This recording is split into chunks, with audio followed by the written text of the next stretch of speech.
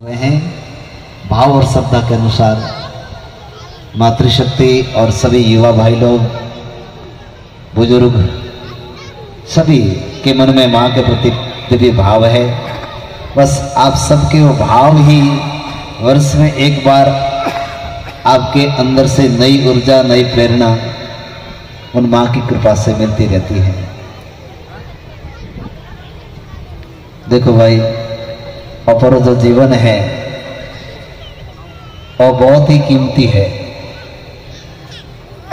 और उन कीमती जीवन में, इन भारत भूमि में जन्म लेवणो और उन हाथे भी एड़े महान कुल रमोए जो दिव्य कुल, जिस कुल में साक्षात ब्रह्मा जी का अवतार हो। गुरु महाराज जी का वचन है कि ब्रह्मा जी ने भूल पड़ी और आपरी भूल ने सुधारने वास्ते केदाराम जी बाप जी अवतार लियो और अपन सबों ने एक मार्ग बतायो।